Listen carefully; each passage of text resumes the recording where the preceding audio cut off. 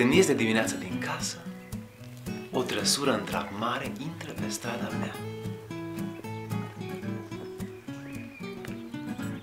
În trăsură, Madame Caliopi Georgescu, bună prietenă. Să rămână, Madame Georgescu!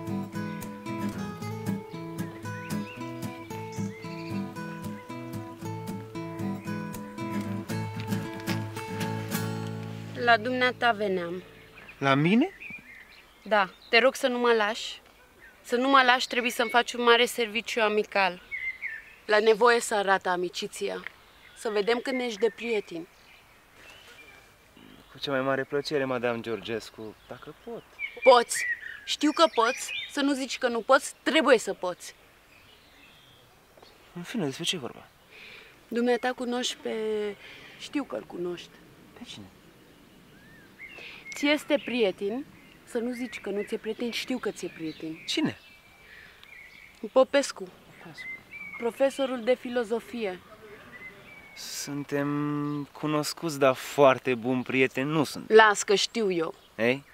Ei, trebuie numai decât să te sui în beje cu mine, să mergem la el să-i vorbești pentru Ovidiu. Închipuiește-ți. Să-l persecute pe băiat, să-i zdrobească băiatului cariera. Cum este el simțitor, e în stare să se prăpădească. Știi ce mi-a zis? Hmm. Mamițo, dacă pierzi un an, mă omor. E în stare. Cum e el ambițios. Închipuiește-ți să-i dea nota 3 și lui trebuie 6. Și la ce? Tocmai la morală. Acu dumneata îl cunoști pe Ovidiu de când era mic, știi ce creștere i-am dat. Ei, bravo.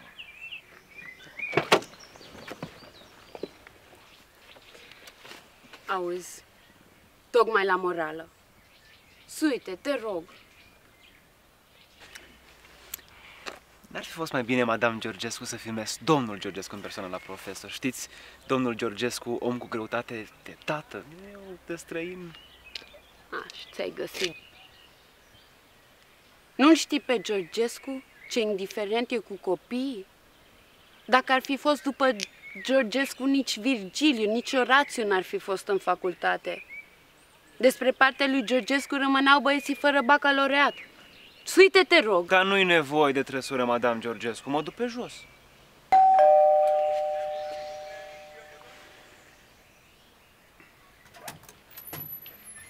Frate Popescule, ciudate mai sunt și regulamentele școlilor noastre. Prea se dă o importanță egală tuturor obiectelor de studiu și asta Asta este dăunător mersului, adică vreau să spun uh, progresului, pentru că, în definitiv, ce vor școlile noastre de la tinele generațiuni care vin și caută, mă înțelegi, o cultură sistematizată pentru a deveni cetățeni utili, fiecare în ramura sa socială? Punioară, punioară am văzut absurdități în școlile noastre. Am văzut tineri cu reale, um, cu, cu... Am văzut tineri cu cu reale aptitudini spre studiu obligați să repete un an sau să stea un an repetenți pentru că nu au avut o notă suficientă la, la muzică sau la gimnastică. Acum trebuie să o convingi și dumneata. E tot la fel de absurd ca și când ai a împiedica un tânăr dispus să învețe dreptul pentru că nu este tare la morală. Ce are a face morala cu cariera de avocat pe care tânărul vrea să o îmbrățișeze? Uite, frate Popescule, să lăsăm chestiile de principiu. Știi de ce am venit la dumneata? Pa, am venit să-i dai, te rog, lui Ovidiu Georgescu, cel pe care l-ai ascultat ieri la morală și îi dai nota 3, să-i dai nota 6. Bine, dar atunci trebuie să le dau la toți. Să le dai la toți? Păi, da, da. nu îmi spune că nu poți, că trebuie să poți. Trebuie să poți, să le dai la toți. Pentru că toți sunt de familie bună.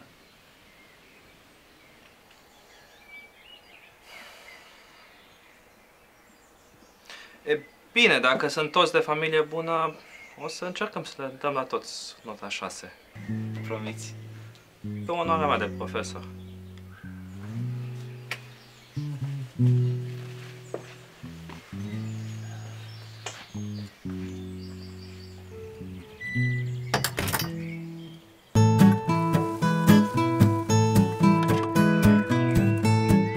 După amiazi, Primesc de la Madame Georgescu o scrisorică, prin care mă anunță că Ovidiu a obținut nota dorită și mă roagă să iau prânzuri de seară la dumnealor. Se înțelege că n-am lipsit de a profita de grațioasa invitațiune. A fost o masă splendidă, s-a băut șampanie în sănătatea lui Ovidiu Georgescu, urându-i se o strălucită carieră.